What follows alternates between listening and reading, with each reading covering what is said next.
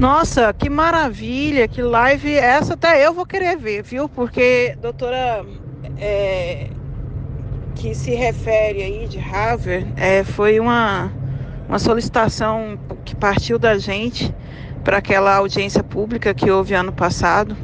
Ela fez uma, uma audiência pública, se não me engano, na, na sessão do Congresso virtual e foi, foi muito enfática no papel dos agentes comunitários de saúde e se reportando a uma experiência de Boston. Realmente, infelizmente, na audiência pública que foi solicitada pelo deputado Antônio Brito através da nossa articulação, minha de, de, de Valda, é, é, na oportunidade, Valda não teve, nem eu, é, por não termos uma entidade que nos representasse e que nos desse a oportunidade de fala,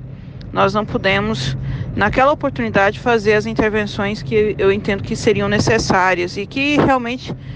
tanto a FENASC como a CONAX fizeram a seu posicionamento, mas não levou adiante nenhuma daquelas proposituras que a gente gostaria de ter feito lá. E eu espero que, que agora com o FENARAS e com a CONAX e com a FENASC, é, a gente possa se complementar nos argumentos né, que a gente possa também ter espaço de bancada no processo de discussão, e é isso que nós vamos pleitear, para que a gente não perca mais oportunidades como, essa que a gente perdeu na audiência pública do ano passado, em que a gente teve a oportunidade de, de tê-la numa audiência. É, falando sobre esse tema e que dali não, não conseguimos extrair nenhum encaminhamento, infelizmente, né? Não parece que na oportunidade não houve interesse, ou não houve oportunidade, ou não houve força, ou não houve condições, não sei, não ficou claro para mim isso. Mas eu espero que, que agora a gente consiga, que a Conax realmente tome isso como um, um, um desafio, porque é, o Fenaras vem com esse desafio, eu estou aqui é, encantada com, com essa iniciativa e vou correr atrás para que a gente, agora sim, com espaço de, de discussão, de debate, é, através do FENAROS, a gente possa também colaborar e não ficar aí, né, sem voz, sem, sem, sem esse posicionamento que tanto poderia ter feito a diferença para a categoria daquela oportunidade do ano passado até agora.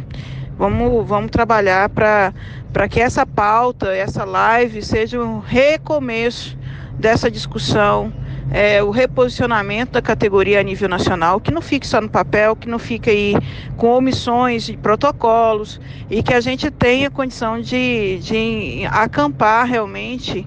uma prioridade do agente de saúde, uma essencialidade do agente de saúde nesse processo, mas acompanhado de uma valorização, de um respeito, né, que não fique só nas falas, que a gente agora tenha condição de trabalhar juntos com isso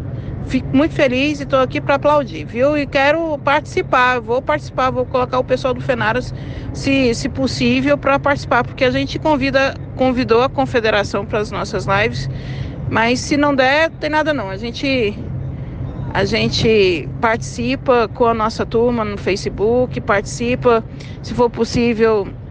em outra oportunidade de audiência pública, mas que eu fico feliz, eu fico. A gente está até que enfim entrando aí numa, numa discussão que,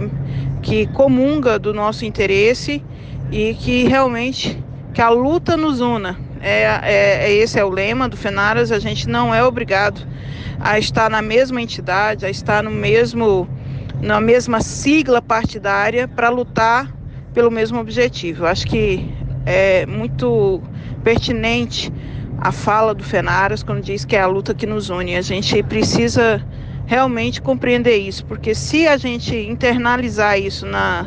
nas nossas mentes,